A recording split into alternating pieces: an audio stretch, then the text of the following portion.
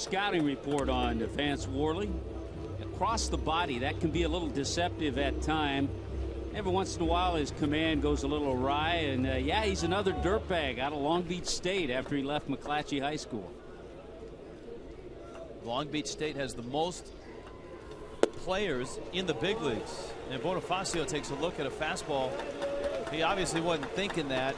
Jack said, be dressed at five and ready to go. So the preparation is a little different. Polanco comes in and he makes the catch right by the mound. Might be kicking the tires on 2 2. That's a strike three call. Buck doesn't like the call. But if he's hitting 255, his on base percentage not quite at 300. By a step, Polanco, which runs through Wednesday. That's right down the middle. That's a strike. And now Morrison and Kerwin Danley, a much better offensive club than they are right now.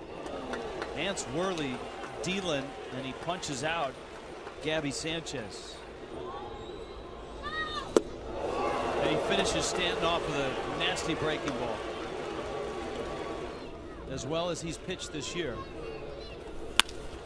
Petersen hits it sharply out to Rollins at short and throws him out. And Vance Worley makes quick work of the fish. He has retired eight in a row.